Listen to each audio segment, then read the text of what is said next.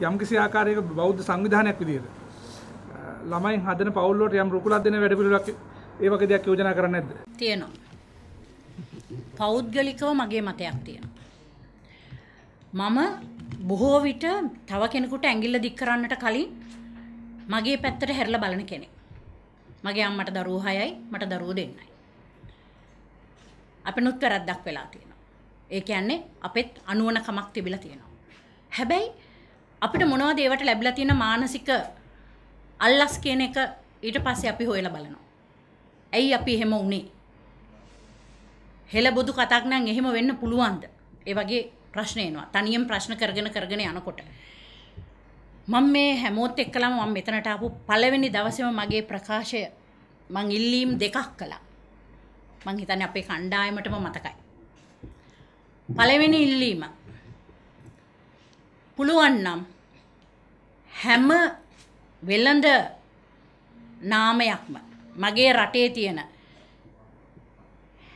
හැම නාමයක්ම ඉංග්‍රීසි භාෂාව ඉවත් කරමින් සිංහල බසට හරවගෙන යන්න. එකක්. ජාතිකත්වය අපේ කියන හැඟීම අපට එන්න. එක එකක්. ඊළඟ කාරණාව තමයි මං ඉතාම බැගෑපත්ව ඉල්ලුවේ. අපි හැමෝම ඇඟිල්ල දික් කරමින් බනිනවා පල්ලි ඇතුලේ තිබ්බේ බෝම්බ පල්ලි ඇතුලේ මිනිසුන්ව රැකගත්තේ පල්ලියනුයි සල්ලි දුන්නේ පල්ලියනුයි ගෙවල් අරන් දෙන්නේ පල්ලියනුයි කී කී බැන බැන ඉන්නවා. එහෙමනම් අපටත් හිතන්න පුළුවන් තැනක් තියෙනවා අපිටත් පටන් ගන්න පුළුවන් තැනක් තියෙනවා. මේකට මම දන්නේ නැහැ කොයිතරම් අපේ සංඝයා වහන්සේලා නායක හිමිවරුන් අපිත් මාත් එක්කලා එකඟ වෙයිද කියලා සියලුම දේවල් සාංගික තත්වයේ තියෙන පවතිනවද මම දන්නේ නැහැ. නමුත් මගේ ජාතික හැඟීම ඇතුළේ මම මේ ඉල්ලීම කරන්නේ. ගරුතර සංඝයා වහන්සේගෙන් මම ගෞරව පූර්වකව වැඳ නමස්කාර කර ඉල්ලා සිටිනවා. අපි වෙනුවෙන් ගම් මට්ටමෙන් ඔබ වහන්සේලාටත් යම් කටයුත්තක් කළ හැකි නම් අපි අපි හුවමාරු කර ගනිමින් අපේ සෙනෙහසය ආදරය කරුණාව කියන ටික බෙදා හදාගන්න මං හිතන්නේ අපිට පුළුවන් පන්සල තුලින් ඒ ගමේ වෙසෙන ආර්ථිකයෙන් පහත මට්ටමක සිටින අපේ ශ්‍රී ලාංකික හෙළ බොදුවන් වෙනුවෙන් යමක් කරන්නට. මම මේක තරයේ විශ්වාස කරන දෙයක්. ඒක අපි ඒ ක්‍රමයෙන් ස්වාමින් වහන්සේලාගෙන් ඉල්ලීමක් කරනවා අපිට ඒ සඳහා අතහිත දෙන්න උදව් කරන්න කියලා.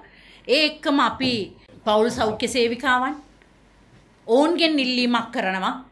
ඔවුන්ගේ කටින් මෙතෙක් කියවෙලා තිබුණා නම් දරුවෝ දෙදෙනා තමයි ඉස්තරම් අපේ රටේ ජනගහනය අපි සීමා කර යුතුයි රටට හානියක් විය යුතුයි කියලා කරුණා කරලා මේ අවස්ථාවේ ජනගහනය කෙතරම් වැඩි වුණත් කමක් නැහැ කියන තැනට ඇවිල්ලා සිංහල පරපුර ගොඩනගන්නට අපට උදව් දෙන්න කියලා. අපි පෞද්ගලිකවම ඉල්ලනවා.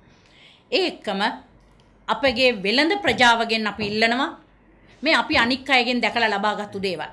අපි ඉල්ලනවා තමන්ට හැකි අයුරින් තමන්ගේ වත්කමින් තමන්ගේ හිතේ තියෙන මේ වේදනාව දුක පහ කරගන්න සිංහලයෙක් හැටියට බෞද්ධයෙක් හැටියට තමන්ගේ වත්කමින් කොටසක් අපි යොදවමු අපේ ආර්ථිකය පහළම මට්ටමේ පවතින අපේම සහෝදර සහෝදරියන් දෙමව්පියන් ගොඩනගන්න. මේවා තමයි අපේ ඉල්ලීම්.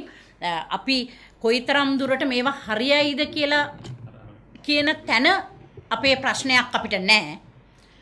අපි කෙසේ හෝ මේ කරුණු කාරණා සාක්ෂාත් කරගන්නට අපේ අදිෂ්ඨානයෙන් අපි මේ ගමන යනවා. ඒකට වසර 8ක් වෙන්න පුළුවන් 10ක් වෙන්න පුළුවන් අපි මියදිලා තියෙන්න පුළුවන්. නමුත් අපේ වලට හෝ අපේ අනාගත පරපුර ආශිර්වාද කරන තලයකට මේ අපි අපේ කටයුත්ත අරගෙන යනවායි කියන හොඳ පරම පිවිතුරු චේතනාවෙන් අපි මේ වැඩ කටයුත්ත කරගෙන යනවා.